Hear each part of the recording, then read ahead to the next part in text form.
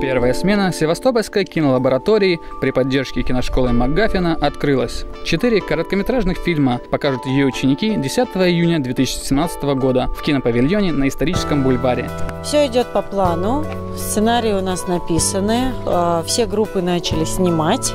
Кто-то один день, кто-то уже парочку дней. А завтра вот э, мы а, начнем уже разбирать материал, посмотрим его на большом экране, поймем, получилось у нас, не получилось поработать с актерами, получилось ли а, выразить то, что было написано в сценарии.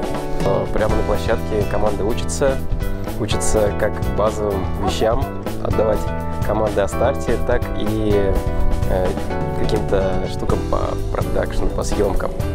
Съемки идут полным ходом.